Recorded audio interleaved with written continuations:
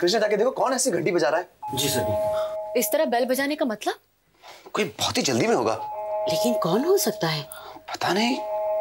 करुण कहीं हॉस्पिटल से कोई बुरी खबर तो नहीं?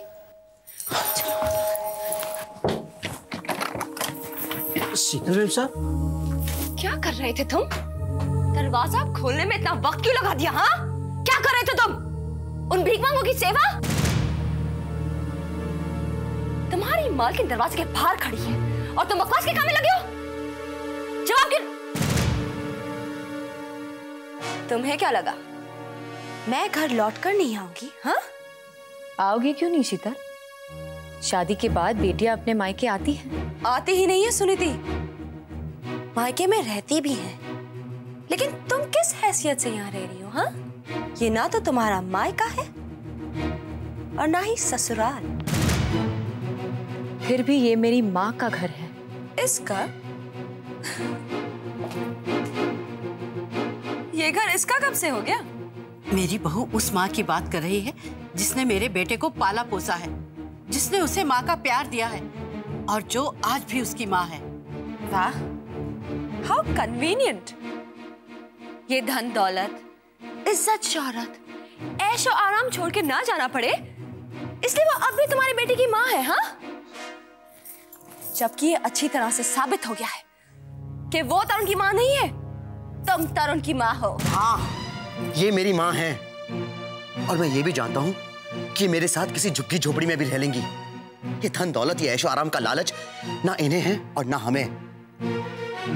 हम तो बस इतना चाहते हैं कि वो औरत जो ज़िंदगी और मौत की लड़ाई लड़ रही है, उसे ये ना पता चले कि उसका बेटा उसका नहीं है। तरुण?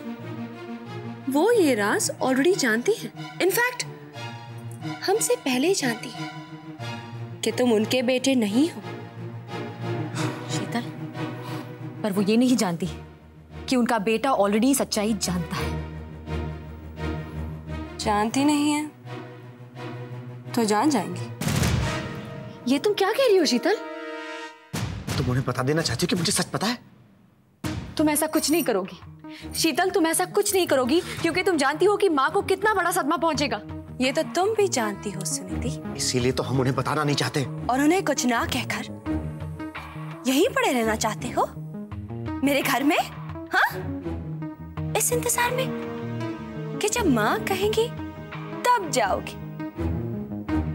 यही कहा था ना तुमने मुझसे सुनी थी